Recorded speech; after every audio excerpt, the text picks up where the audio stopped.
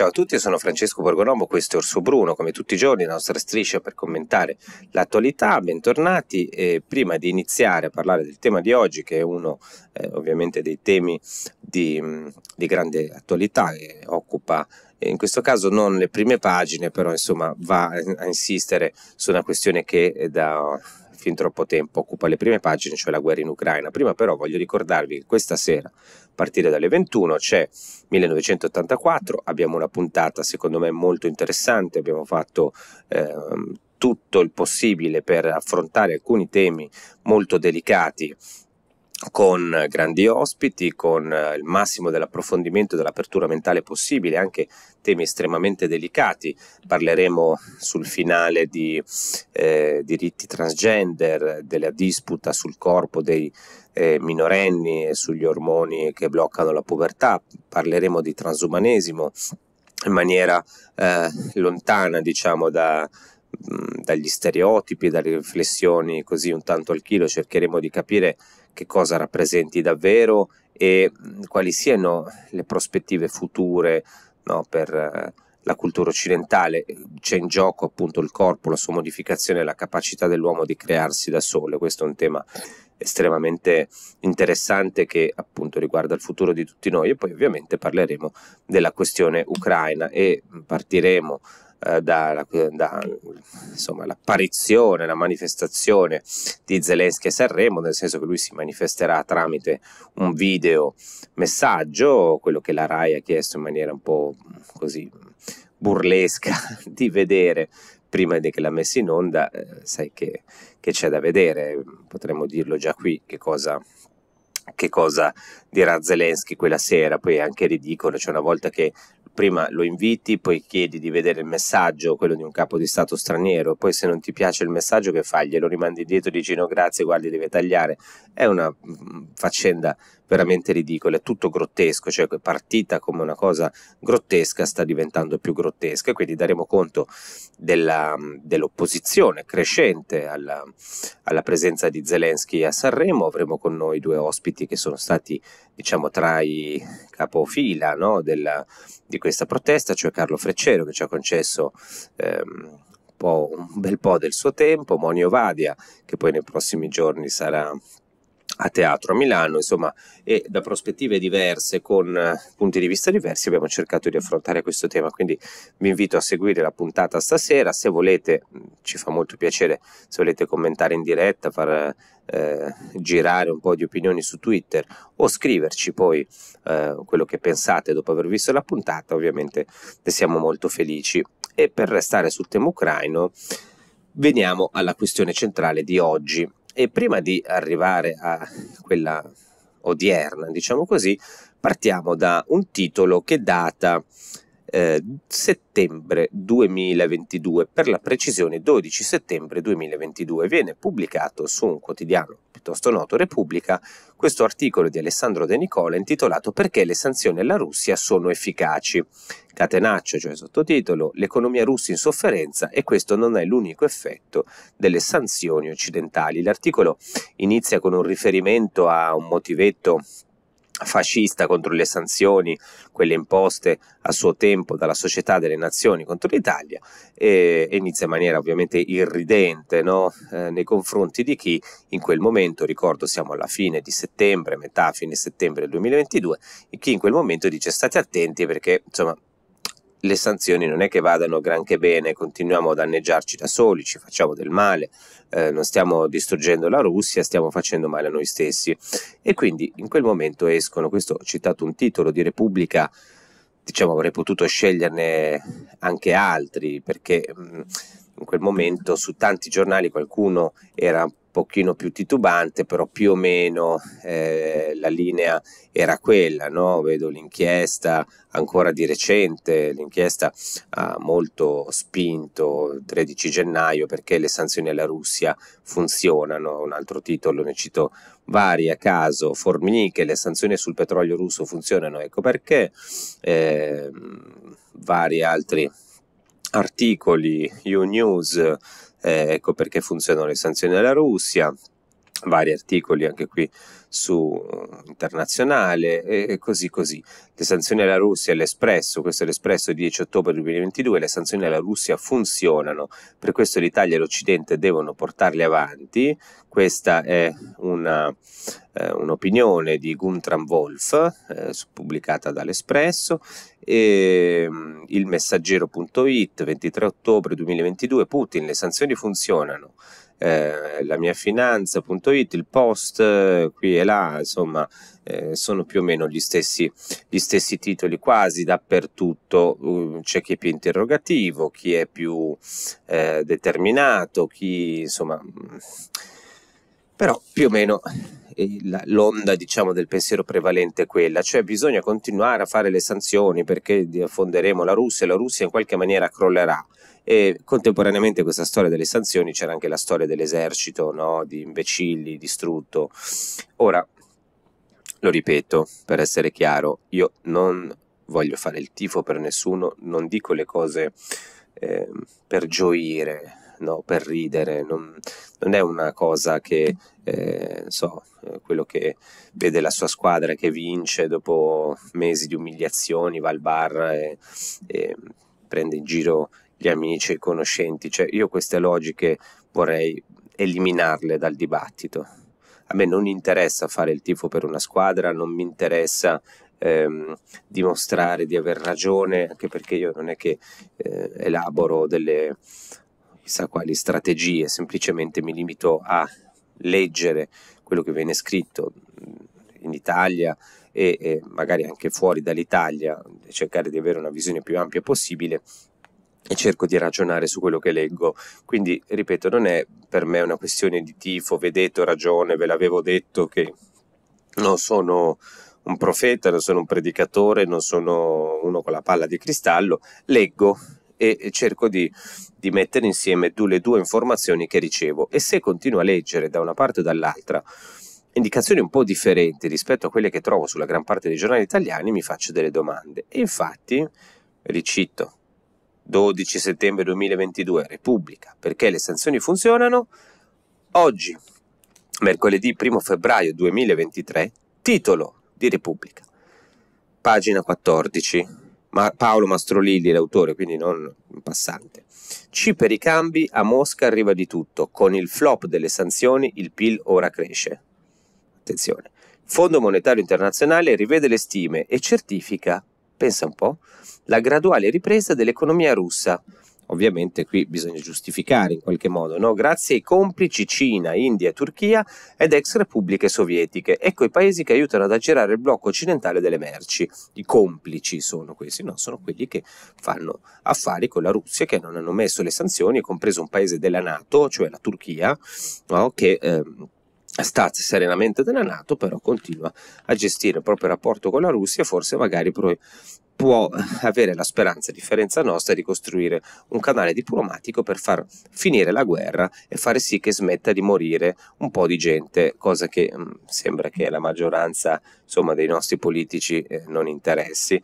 Ehm, Mastrolilli esordisce dicendo l'economia russa zoppica ma non cade, perché Mosca ha trovato diversi paesi complici che l'aiutano ad aggirare le sanzioni. No? In realtà sì ehm, fa più 0,3% l'economia russa, ehm, quindi insomma non c'è stato il crollo, poi sì, ci saranno i complici, ci saranno gli aiuti oscuri, le violazioni, eh, ma ehm, non è che ci sono i cattivi che violano le regole, ci sono delle regole che ha stabilito l'Occidente e ci sono una parte di nazioni nel mondo che quelle regole non intendono sottomettersi perché hanno una visione della storia diversa, hanno delle priorità differenti e hanno degli interessi divergenti dai nostri ok?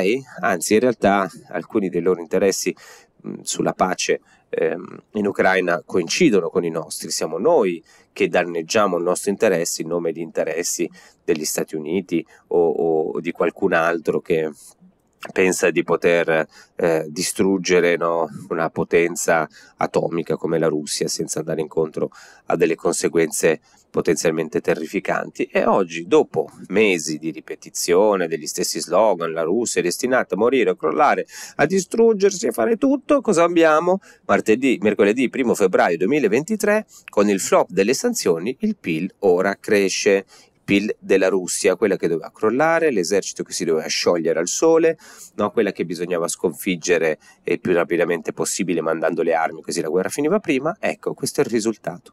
Continuiamo fra poco. Rieccoci, abbiamo fatto una piccola pausa e così calmiamo anche un po' gli animi elaboriamo insomma, il concetto che ho cercato di esprimere prima. Io, eh, a costo di eh, essere ripetitivo, qualcuno a volte mi dice che sono ridondante in queste cose, però io lo voglio ripetere, per me non è una questione di eh, partigianeria politica, a me non interessa, sinceramente, a me interessa, ehm, come dire, benessere nazionale, io ho a cuore appunto l'interesse nazionale, che, perché? perché penso che il compito dei politici italiani e il compito dei, dei giornalisti che devono vigilare anche sul loro operato sia quello di fare il massimo possibile per i cittadini della loro nazione, visto che poi su altre cose, su altri argomenti, non è che abbiano tutta questa capacità no, di, di, manovra, diciamo così, quindi meglio che si concentrino su quello che sono deputati a fare, no? sono lì apposta per fare l'interesse della nazione.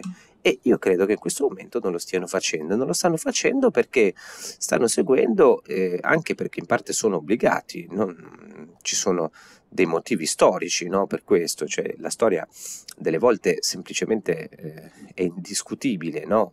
si fa così perché ci sono delle, delle, ragioni storiche. Io posso anche capire queste ragioni storiche, però almeno dobbiamo essere informati sulla realtà dei fatti, no?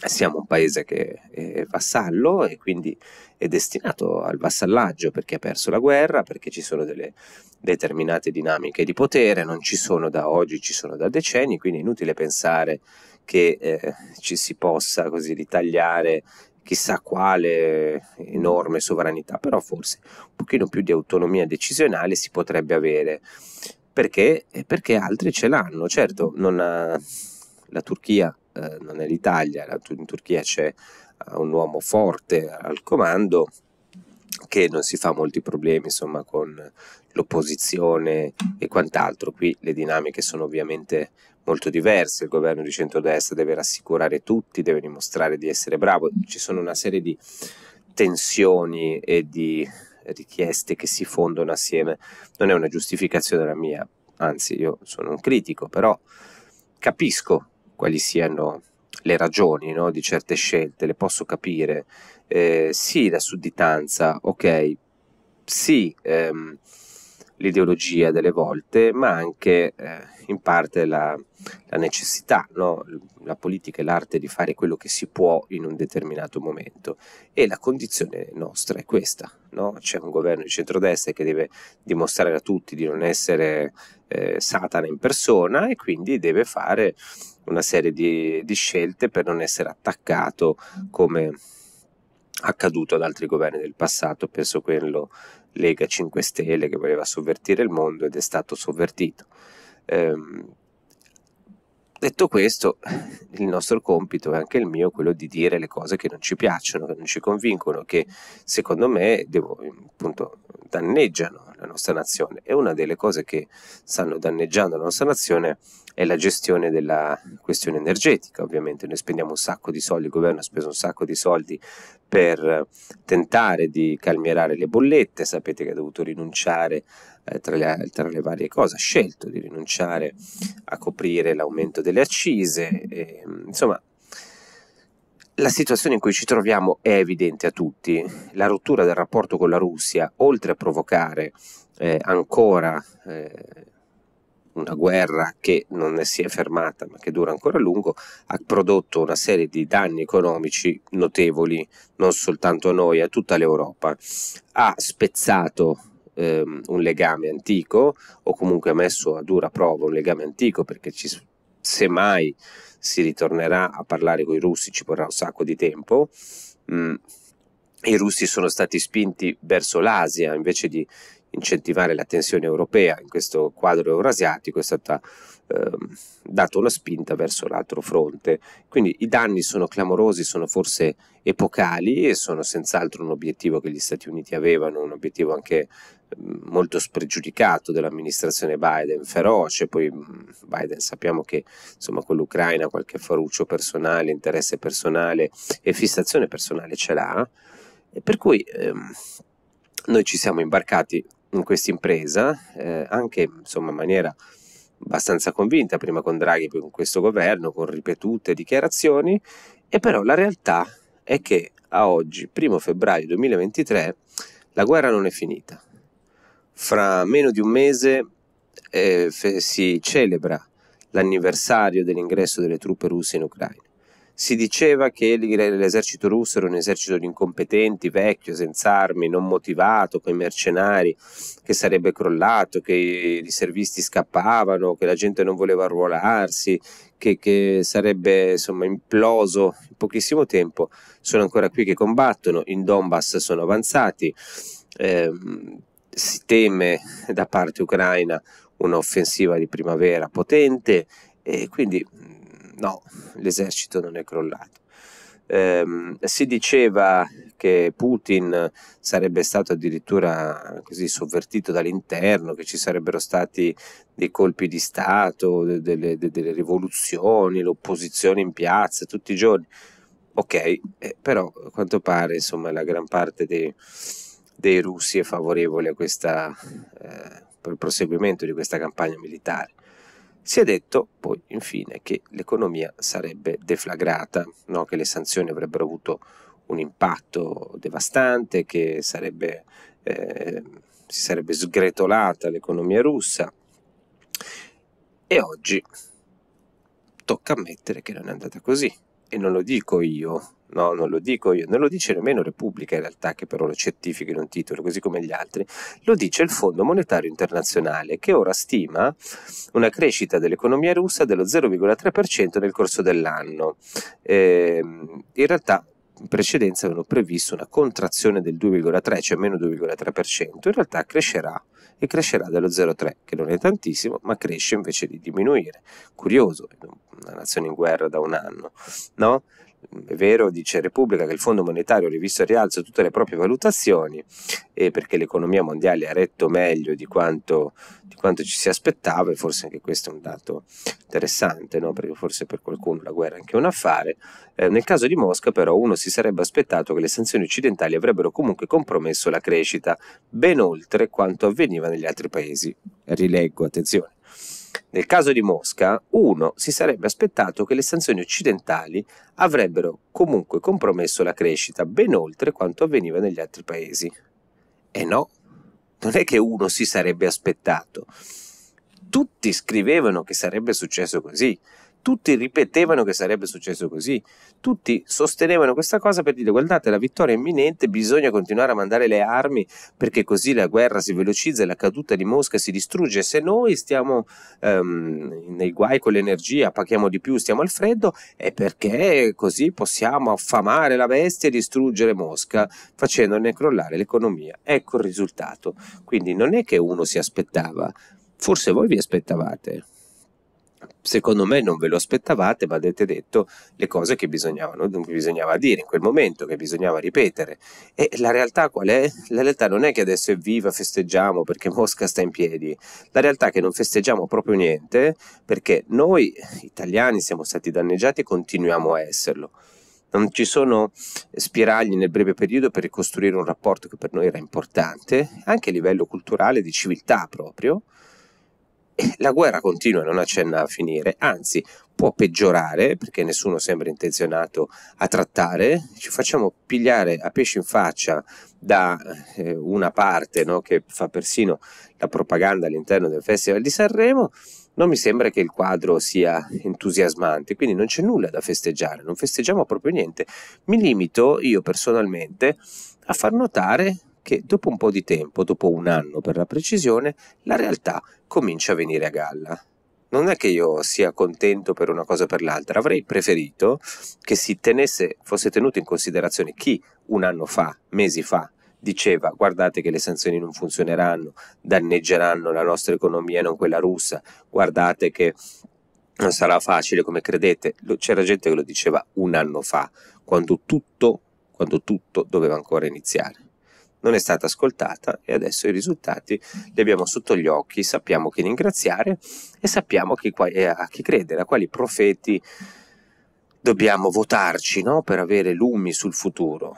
Ma pensa a te, uno si sarebbe aspettato che le sanzioni funzionassero. No, non c'era proprio da aspettarsi che le sanzioni funzionassero, l'avevano detto in tutti i modi. Avete voluto andare avanti per questa strada e alla fine purtroppo a pagare sono sempre i soliti, cioè tutti noi.